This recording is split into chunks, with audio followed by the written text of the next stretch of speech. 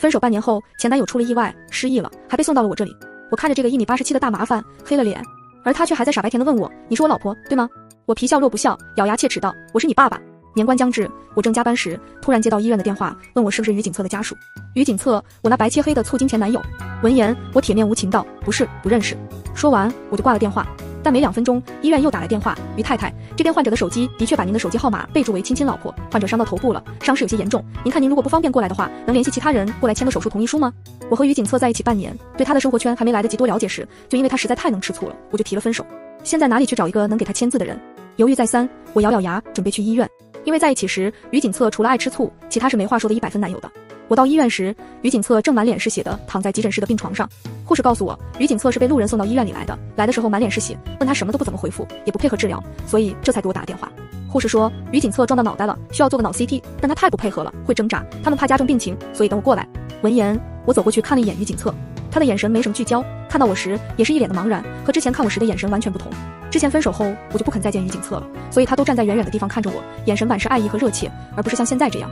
于景策，你还认识我吗？我问于景策，但于景策还是一脸茫然，显然连人都认不出来了。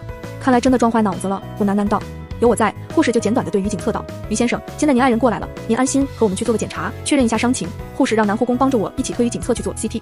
一路上，于景策也不说话，就这么看着我，眼中满是疑惑。CT 检查，于景策倒是很配合了。不一会儿，脑 CT 检查结果就出来了，有些出血，但出血量不大，只要没有继续出血，这些出血量是可以自行吸收，无需手术的，但是需要住院观察几天。我循循善诱于景策，让他联系他的家人来照顾他，但于景策总是睁着眼睛，无辜地看着我，那双漂亮的桃花眼里透露着清澈的愚蠢，什么也问不出来。无奈我只能拿出他的手机，翻找着，看能不能找出些什么有用的信息来。首先是通讯录，于景策的手机通讯录里的人离谱到只存了我一个人的联系方式，难怪医院只给我打电话。我翻开通话记录，试图回拨了几个人，但都没成功。对方不是把我当骗子，就只是和于景策有工作关系，根本不可能过来医院照顾他。无奈，我只能打开于景策的微信。一打开，我就看到了被置顶的我的微信。我鬼使神差的点了进去。当初分手，我态度强硬，直接把于景策删了。微信里，于景策给我发了很多消息，从最开始的求饶道歉，保证他会控制住自己不吃醋，到后面他像是突然忘记了我们已经分手了一样，正常的问我吃了没，和我道早晚安，提醒我天凉要多添衣，会和我分享他早午晚都吃了什么，会絮絮念很多。只是每一条消息旁边都有一个红色感叹号。不知为什么，我看的眼眶有些发热。就在这时，正躺着的于景策突然递过来一张纸巾。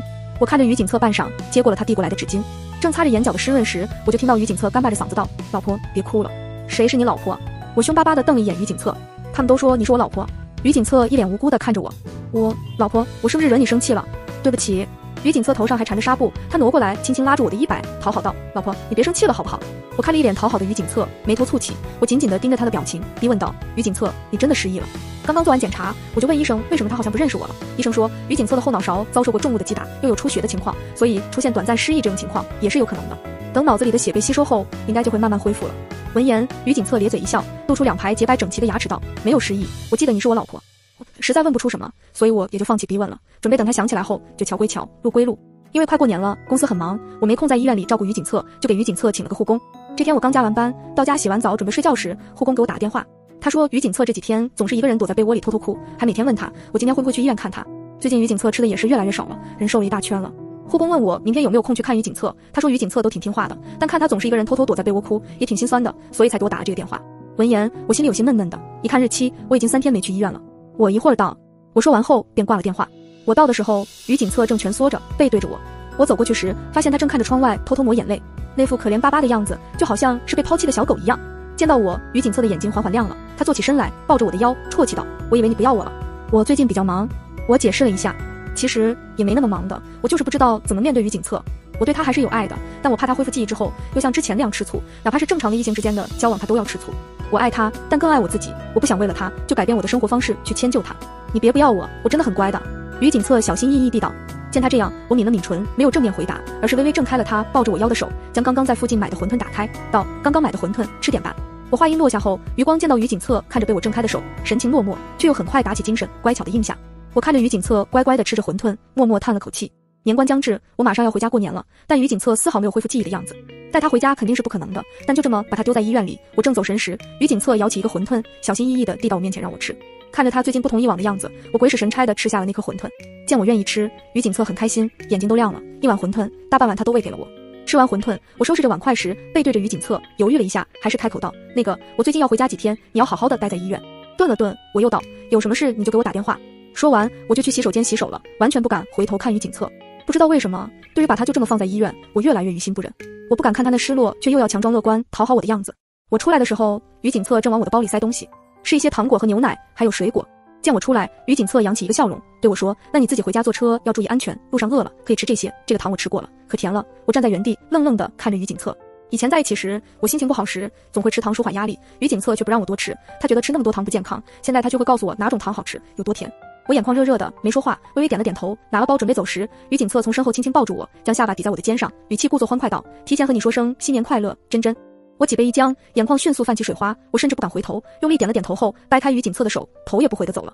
我怕我回头看见于景策的样子就心软了。我刚到家，于景策的信息就到了。他问我到家没，我回了的到了。于景策絮絮叨叨又说了很多，无非是让我回家注意安全，替他向我爸妈问好之类的。我没有再回。这一晚我睡得极不安稳。我梦到我将于景策就这么丢在医院。大年夜，他一个人清清冷冷的待在医院。后来他想去找我，却在半路发生意外，出了车祸。这次他依旧满脸是血，但是抢救无效，被搁上白布送往太平间。梦中我凄厉的哭着，叫着他的名字，然后猛然惊醒。醒的时候，我背后额头全是冷汗，那种心慌手抖的感觉让我久久无法回神。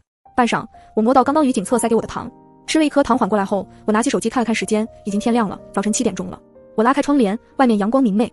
我回家的车票是九点四十八分分发车的，所以我起床洗漱了一下，就带上早就收拾好的行李，准备回家过年了。去车站的路上，我脑海里都是于景策。我们的第一次见面是在谈判桌上，他和我老板在谈判，我作为秘书出席。第二次见面是在一个慈善晚会上，他替我挡了酒。第三次是在孤儿院里，我们都是志愿者。那天他要了我的电话号码。再后来，我们就在一起了。于景策大我四岁，所以生活中的事他都替我安排的好好的。和他在一起的时间里，大部分还是很快乐的。想到这里，我的步伐开始变慢。但回家的人潮把我挤向进站口。老婆，你累不累？坐我身上。动车上，于景策蹲下身来，让我坐在他背上。旁边一位同样站着的阿姨见状，看了看自己低头玩手机的老公，又看了看帅气贴心的于景策，酸溜溜的对我道：“小姑娘，还是你命好，老公长得好看还体贴。”我没回答，面无表情。我真的是鬼迷心窍了。刚刚明明都快进站检票了，却生生停住脚步，挤出人潮，去医院给于景策办理出院手续，又带他回家过年。原本我的车票好歹是个二等座，现在倒好无座，我得一路站到家，还不知道要怎么和我爸妈解释我突然带男人回家的事。三个半小时的车程，我都不怎么爱搭理于景策，但于景策总是叽叽喳喳的，一会儿问我要不要喝水，一会儿问我要不要吃东西，一会儿又剥颗糖塞我嘴里，糖在口腔里蔓延出丝丝甜意。我看着兴奋的看着窗外的于景策，突然想到刚刚太匆忙，忘了和他说清楚。我带于景策回家，并不是想和他复合，单纯只是觉得就这么把他一个人丢在医院里独自过年，有些于心不忍罢了。但春运的动车上，无座车票的人还是挺多的，在动车上说肯定不合适，只能到站后在回家的路上再和他说清楚了。但我没想到，我刚出站，我爸的电话就来了：“真真啊，爸爸在出站口等你，你到站了吗？”我爸问我，我原本早上的车票，但因为去接了于景策，所以改成下午的票。我怕父母担心怎么迟那么久，所以就和他们说有事需要改签。没想到我爸妈担心，我爸直接来车站接我了。我看了看身边一米八十七大高个的于景策，慌了，怎么办？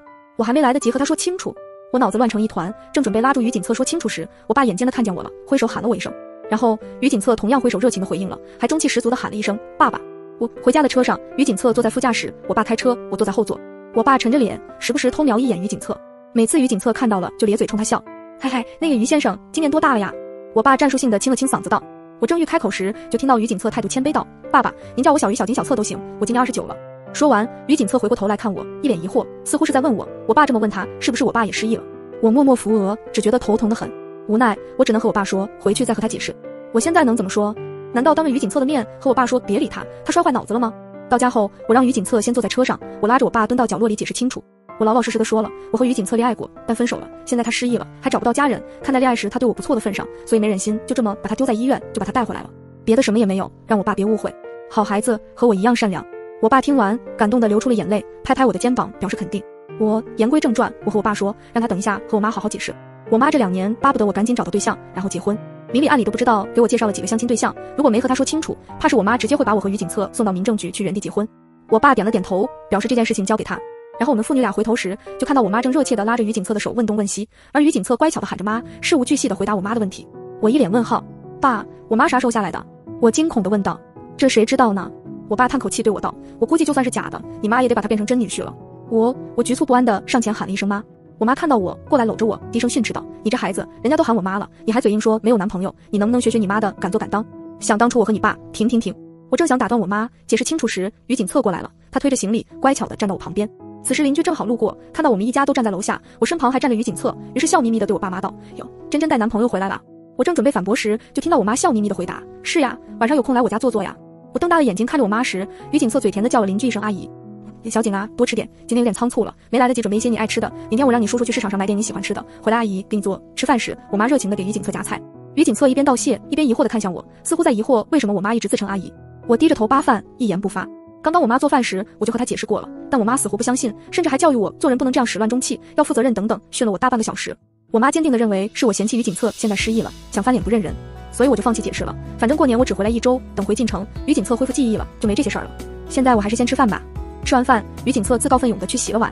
我奔波一天了，累得半死，也不想管他了，拿了衣服就去洗澡。然后我洗完澡，一回房间就看到于景策正襟危坐的坐在我床上，像极了等待检查作业的三好生一样。你怎么在我房间？我一脸懵逼。你这孩子！我妈听到我的声音就过来了，手上还拿着衣服。她又对于景策道：“这些是你叔叔的新衣服，我都过过水了，都是干净的，没穿过的。你先凑合一下，明天让珍珍带你上街去买新的。”我妈一边将衣服给于景策，一边用眼神警告我别做那始乱终弃的负心汉。行行行。我拧不过我妈，转头去衣柜里抱出一床被子，对于景策道：“今晚你睡沙发。我家只有两个房间，一个我爸妈的，一个我的，没有多余的房间给于景策睡。我肯定不可能和于景策睡一张床的，所以只能让于景策去睡沙发了。”于景策闻言愣了一下，有些不明就里，但还是乖乖抱着被子准备去沙发上。我妈见状，立刻拿过于景策手里的被子，塞到我怀里，道：“你这孩子，人家小景刚刚出院，你就让他睡沙发，万一睡出问题来怎么办？”于景策还想帮我说话，但我实在累到没心思和我妈掰扯了，就认命的抱着被子去沙发上睡觉。算了，谁让我一时同情心泛滥，揽了这么大一个麻烦过来呢？于景策洗完澡后，我爸妈也已经就寝了。他蹲到沙发旁边，小心翼翼、带点娇羞的问我：“老婆，为什么夫妻两个不能睡在一起呀？”于景策的声音很好听，低沉、清冷，冷不丁在睡得迷迷糊糊的我耳边响起，酥酥麻麻的，我也吓了一跳。我坐起身来，摘掉眼罩，看着一脸人畜无害的于景策，还是决定和他说清楚。我拍了拍身边的沙发，对于景策道：“坐下，我有事要和你说清楚。”于景策闻言，乖巧地坐下来，他身上带着沐浴露的清香，和我的一样。我看着清冷帅气的于景策，想着从哪里开始说起好。于景策，我们的确在一起过，但是呢，我们分手了，而且已经分手半年了。我去医院看你，是因为你手机里只存了我一个人的联系方式，而且我不认识你的家人朋友，所以我只能去帮你签字，带你回家，也只是觉得你一个人在医院过年很可怜，除此之外没有别的了。话音落下后，我顿了顿，看着沉默的于景策，莫名有些心疼。我抿了抿唇，问他：“我这么说，你听懂了吗？”于景策顿了好几秒，才点了点头。他眼圈红了起来，对我说道：“我虽然不记得什么了，可我记得我爱你。我不知道我们分手的原因是不是我欺负你了。”于景策小心翼翼地握住我的手，又道：“如果是你打我骂我，想对我做什么都可以，就是可不可以再给我一次机会？我保证，我这次一定会做得很好的。你说什么我都听你的。”于景策的手很温暖，我看着他态度恳切的样子，一时间愣住了。好半晌，我才猛地甩开于景策的手，站了起来。我心跳如雷，深深吸了好几口气，试图让自己冷静下来。我居然心动了，你赶紧回去睡，都几点了？我困死了。说完，我推开于景策，在沙发上躺下，将被子盖住头，不敢面对于景策。被子外安静了几秒钟后，我被人连着被子抱了起来。我吓得露出了被子，发现于景策抱着我，正要回房间。于景策，你想干什么？这是我家。我压低了声音训斥于景策。于景策稳稳地将我放下来，强颜欢笑道：“我以前大概是做了让你很生气的事，我们才分手的，我会尽力弥补的。”他抱过另一床被子，摸了摸我的头，对我说道：“睡沙发这种事交给我，晚安，做个好梦。”说罢，于景策真的出去睡沙发了。他甚至还帮我带上门。半晌，我都没回过神来。于景策的确是和以前不一样了。原本我很疲惫了，但躺到床上后却辗转反侧都睡不着，脑海里满是和于景策谈恋爱时的回忆。躺了一个多小时后，我越躺越清醒。我妈说的对，于景策刚出院就睡沙发，万一睡出问题来怎么办？我又联想到那个于景策满脸是血的噩梦，猛地坐起来。不行不行，他得睡床。我掀开被子下床，开门去客厅。我小心翼翼地走到沙发时，发现于景策并没有睡，而是坐在沙发上发呆。回房间睡。我走到于景策面前，弯腰抱起被子，准备回房间时，于景策握住了我的手腕。客厅昏暗的灯光下，他微微抬头看着我，片刻，他唇角微弯，笑着看我。见他笑，我立刻泼冷水，硬邦邦道：“一人一边，中间画条线，不许越线。”于景策丝毫不在意我的冷脸，他站起身，接过我手里的被子，笑道：“都听你的。”回房间后，我拿围巾隔了条线，一人一床被子，三令五申警告于景策不许越界。于景策乖巧的点头后，我才放心的躺下。我的床其实并不大，所以两人其实挨得也很近。我闭着眼睛，鼻尖萦绕着于景策身上淡淡的沐浴露香味，突然觉得莫名的心安，睡意慢慢袭来，我睡了过去。清晨，我生物钟自然醒了。醒的时候，我在于景策的怀里，手脚还搭在他身上。我这姿势，怎么看都是我主动抱的于景策。我脸瞬间红透，小心翼翼的想移开手脚，但睡梦中的于景策却翻了个身，将我紧紧的搂在怀里，嗓子低哑的呢喃了两句：“乖乖，再睡一会儿。”乖乖是以前恋爱时他在无人处和情动时会叫我的昵称。我脑中有什么在逐渐清明时，我妈敲门了，差不多就起来了。今天除夕，你们俩来贴对联。我妈在门外道。闻言，我瞬间头皮发麻。我妈这话，她知道我们俩睡一起了。我惊恐地看向于景策，而他也刚醒过来，正好与我对视。见到我，于景策唇角微弯，他说：“早上好啊，珍珍。”我完了，这下假的也会变成真的了。我和于景策起床洗漱后，我妈锐利的眼神在我身上扫描了几下，却什么也没说，只是一副了然的样子，然后将对联递给我，让我去和于景策一起贴对联。贴对联的时候，于景策只让我在旁边看对联是否贴正了，其余的都不要我做。贴完对联后，于景策与我并肩站着，看着焕然一新的门口。于景策看向我说道：“真真，希望往后的每一年都能和你一起贴对联。”很稀松平常的一句感叹，我却想到了早晨时分我抱着他睡的那一幕。我脸一红，故作板着脸走进门去。贴完对联，我妈在包饺子，我爸在厨房备菜，于景策去厨房帮我爸，所以我只能去帮我妈一起擀饺子皮了。起初我妈什么都没说，我也大气都不敢出。等饺子快包好时，我妈绷不住了，她没忍住，手指轻轻点了点我的头，没好气道：“你这孩子真是随了我，全身上下嘴最硬。”我妈没明说，但我知道她在说我和于景策的事。我如念了两声，梗着脖子不承认。见我这样，我妈也不逼着我，她将手里最后一个饺子包好，整整齐齐的放在盖帘上，道：“行了，你们年轻人的事我不插手。但是小景这孩子的确很不错，妈活了几十年，看人的眼光一向很准，一个人的眼神是骗不了人的，她的眼里啊都是你。”我妈拿起盖帘道：“妈看得出你也喜欢他，如果两个人对彼此都喜欢，那就别白白蹉跎月光，别像我和你爸，活活别扭了六年才在一起。”说完，我妈进了厨房，留下满手面粉的我愣在原地。我下意识摸了摸自己的脸，我喜欢于景策这件事很明显吗？在厨房帮忙的于景策被我妈打发出来看电视，见到我在发呆，他愣了一下，低声笑了一声，然后抽了两张纸巾，细致的替我擦着脸，调侃道：“包个饺子都能变成个小花猫。”我看着近在咫尺的于景策的俊脸，脸一红，反应过来他在调侃我后，我气鼓鼓的抢过纸巾自己擦脸。于景策见状，从口袋里拿出一颗奶糖，拆了包装纸后塞到我嘴里，求饶道：“别生气了，就算是小花猫，那也是最好看、最可爱的那只。”嘴里的奶糖甜丝丝的，我假装凶巴巴的瞪了一眼于景策，心里却开始松动。要不给他一个机会？如果他恢复记忆后又开始变成醋精，那到时候再分手好了。吃年夜饭的时候，听着电视在放春晚，窗外烟花绚烂，我的心情好极了。我爸妈一人拿出两个红包，分别递给我和于景策。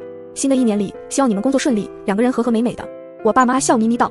于景策见自己也有红包，受宠若惊，恭敬地接过红包后，也拿出了两个红包，递给我爸妈道：“祝叔叔阿姨新年快乐，身体健康，万事如意。”我爸妈愣了一下后，接过了红包，但接过那一刻，两人明显错愕了一下。看着那两封明显沉甸甸的红包，我眉头微蹙，低声问于景策道：“你哪来的钱？”我从医院接出于景策后，就直奔车站，所以于景策什么都没带。他身上的这身新年衣服，还是下午的时候我带他出去买的。他哪里来的这么多现金？闻言，于景策同样低声对我道：“下午你带我出去买衣服的时候，我看到家附近有一家银行，所以傍晚我出去取钱了。”我眉头蹙得更深了。傍晚，于景策是出去了一下，但他怎么知道怎么取款的？见我蹙眉，于景策无奈道：“现在可以无卡取款的，真真，我只是失忆了，不是傻了。”于景策的语气里带着宠溺，我们俩又离得特别近，他说话间的气息喷洒在我耳边，酥酥麻麻的，我脸又是一红，夹了一只虾放到他碗里，掩饰激动的情绪道：“快吃饭吧。”吃完饭，我爸妈让我带于景策出去转转。我们这里是能放烟花爆竹的，所以每年的过年期间都很热闹，尤其是大年三十的晚上。我们到放烟花的地方时，已经有很多人在放烟花了。漆黑的夜空被绚丽多彩的烟花划亮，看着心情都愉悦了起来。路旁有人在卖烟花，于景策跑过去买了很多。走，我们去那里放。于景策买完烟花后，小跑过来，牵起我的手，拉着我小跑了起来。我看着开心的像孩子的于景策，没有正态，任由他牵着我的手。于景策让我站得远远的，他放好烟花后点燃，然后跑到我身边。烟花很快就冲上天，然后在天空中绽出一朵朵漂亮的花。我耳边都是烟花的声音，目光所及之处也都是绚丽的烟花。正愣间，于景策握住了我的手，我看向他，他也正好看向我。真真，新年快乐，愿你岁岁平安，也愿你年年有我。于景策将一个新年红包递给我。现场其实很吵，于景策的声音也不大，但他说的每一个字，我却听得无比清晰。我的心跳与此起彼伏的烟花声同步。看着于景策，我决定勇敢一回。我微微踮起脚尖，扑进他怀里，抱着他的脖子道：“好。”于景策没有防备，因为惯性还抱着我退了半步。在反应过来后，于景策紧紧地回抱住我，声音里是哽咽与无以复加的惊喜。他说：“真真，我爱你。”我和于景策重新在一起后，基本上天天晚起。大年初四，我被我妈强行叫起来。你这孩子天天睡上日上三竿，你看看人家小景，每天都是一大早就起来，又是陪我去买菜，陪你爸去公园下棋的，你能不能和人家学着点？我妈一边把我的被子抱起来去阳台晒，一边碎碎念。我最近每天晚上都没睡好，实在不想起来，但没被子好冷，所以只能哀怨的起来。洗漱完吃了早餐，我妈让我去公园叫于景策和我爸回来，顺便上街买点瓜果零食啥的，明天初五迎财神好拜拜。我到公园的下棋角时，只看到我爸在下棋，没看到于景策。爸，于景策呢？我问道。他去给你买你喜欢吃的冰糖草莓了。我爸围棋快赢了，顾不上理我，眼里都是棋。我只好自己去找于景策。那家冰糖葫芦店就开在公园不远处，所以我准备直接过去找他。温暖的太阳晒在身上，人都变得懒洋洋的。我步伐散漫地走着，到了那家店，却没看到于景策。我正想给他打个电话问他在哪里时，余光却看到了街对面的一家咖啡店里，于景策正坐在里面，低头看着文件，神色是以前的那种严肃冷峻。而他对面坐着他的秘书，他的秘书似乎是在和他汇报工作。我脑袋嗡了一下，一个念头突然在脑海中炸开。我鬼使神差地走进了那家咖啡馆，然后在于景策他们不远处的卡座坐下。于景策的秘书真的在和他汇报工作。而于景策听完汇报后下的每一个工作指示都条理清晰，和他以前雷厉风行的风格一模一样。我听着他们两人的声音，越听手脚越冰凉，心中的那个想法已经呼之欲出了，但我还是不敢相信。直到于总，您的伤还好吗？于景策的秘书汇报完工作后，代替股东与员工转达了对于景策的关心。没什么大碍了，年后我会开始上班，这段时间辛苦你们了。于景策语气平静道。闻言，轰的一声，我脑袋一片空白。好的，那我就先回去了。于景策的秘书起身收拾文件，准备离开。离开时，于景策的秘书看见了我，态度恭敬地唤了一声“曲小姐”。听到声音，原本在座位上的于景策猛然起身，甚至起得太急，还撞翻了咖啡。于景策急急地来到我身边，看到我后，他脸上原本冷峻的神色开始慌乱。于景策想要拉我的手，我却避开了，然后拿过包，脸上挂着微笑，语气平静道：“你们聊，我先走了。”说着，我头也不回地离开，而于景策紧随其后。期间，他数次拉我的手想解释，却被我一次次甩开。我手脚发麻，脑子一片空白，我不敢去深思于景策到底有没有失忆，又为什么要骗我。我只觉得心惊不已。于景策拦不住我，最后没办法，他抱住了我，求我听他解释。我看着于景策，他焦急地解释着，我却只看到他一张一合的嘴，一阵耳鸣，什么都听不到。于景策骗我，很有成就感吗？我看着于景策，眼泪控制不住地夺眶而出。闻言，于景策张着嘴，却无言以对。他想要说些什么，却不知道该怎么狡辩，握着我手臂的手都开始发抖。如果你是要报复我之前分手时对你的狠心与决绝，那么你成功了。我用力挣开于景策的手，挺直脊背，头也不回的走了。我警告于景策不准再去我家，否则我会撕碎他在我爸妈面前的那些好感。我回到家时已经筋疲力尽了，我像是用尽全身力气一样，虚脱的坐在沙发上发呆。我妈见我一回家就坐在沙发上发呆，两手空空，也没和于景策和我爸一起回家，就开始念叨我了。她念了半晌后，发现我一个字都没回应，甚至连眼神都没什么聚焦后停住了。珍珍，你这是怎么了？我妈担忧地看着我。半晌，我眼神涣散地看着我妈，勉强扯出了一个笑，问她：妈，年前你说让我去相亲，现在还能相亲吗？我想安定下来了。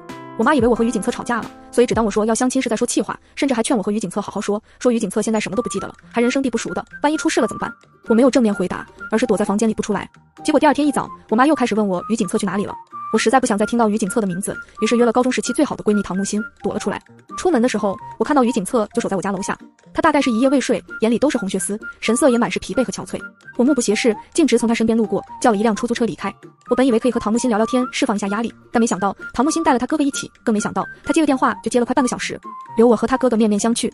听欣欣说，你现在在晋城工作，我也在晋城，我们可以加个微信，以后有什么事都可以互相照料。半晌，唐木心的哥哥唐木石主动道。以前的唐木石就很温和，过了几年后变得更加温文尔雅了。其实以前我也没少见他，但隔了几年再见后，总觉得很陌生。我有些尴尬，但他都主动提出加微信了，我也不好拒绝，于是互加了微信。刚加完微信，闺蜜就回来了。她见到我和他哥互加了微信，打趣道：“哇，哥，你这棵万年老铁树居然会主动加女孩子的微信，奇闻啊！”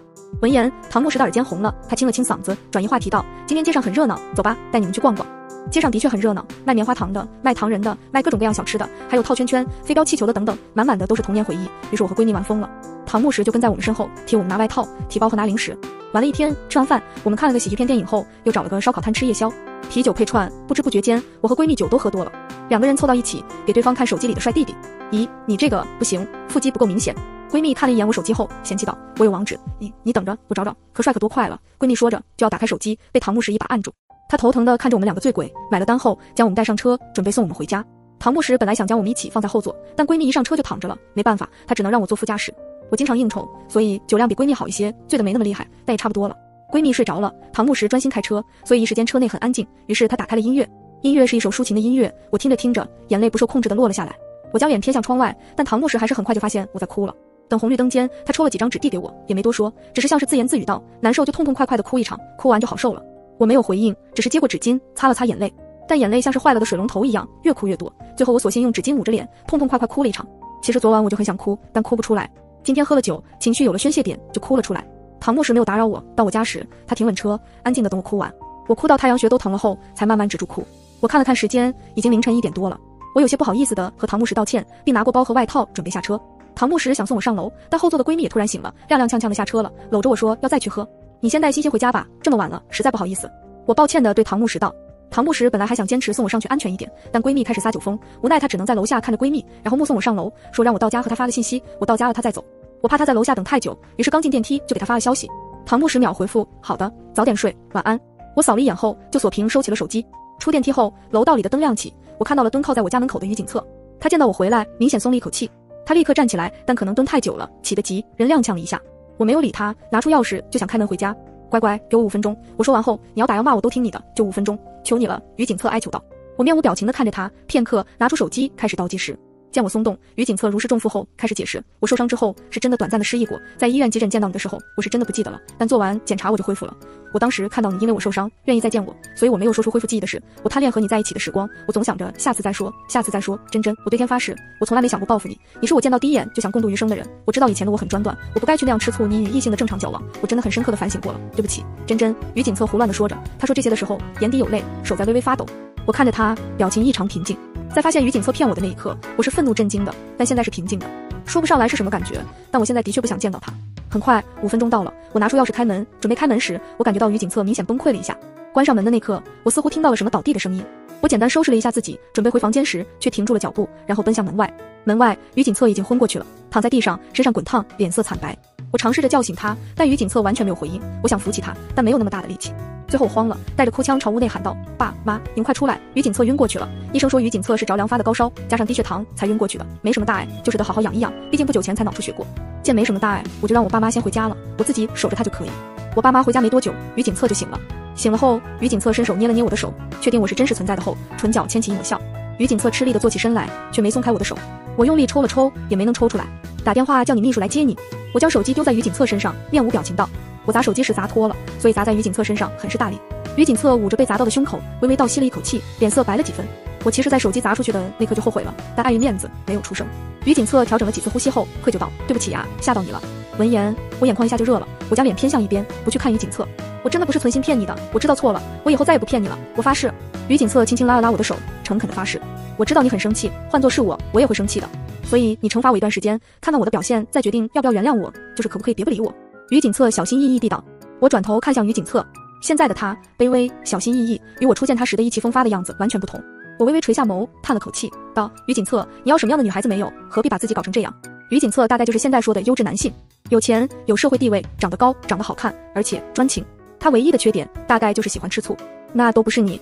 于景策红了眼眶，我抿了抿唇，没有正面回应他，道：“如果你不想秘书来接你，那你打给你爸妈，找你朋友。我最近这段时间都不想见到你。”我是真的想静静的。闻言，于景策愣了一下，低声道：“我是孤儿，也没什么朋友。其实真真，我挺孤僻的，我也不太懂要怎么爱一个人。你是我的。第一段恋爱，所以在和你在一起的。那段时间，我只想把你藏起来，只归我一个人。”说到这里，于景策怕吓到我，于是立刻道：“但你相信我，我真的。意识到那样是不对的。了。我已经改正了，我不会再干涉你的。人际交往了。对不起。”闻言，我愣住了。原来于景策从来不提家里，也没带我去见父母，竟然是这个原因。我下意识反握住他的。手，心脏像是被人攥住一样的。疼。你，我抿了抿唇，却不知道说些什么，最后拿起了床头的。一碗粥。我低头将粥的外包装袋拆掉后，放在于景策面前，道：“喝点粥吧，过去的就别再提了。”我和于景策没有复合，但也没有继续冷战，两人之间的气氛微妙。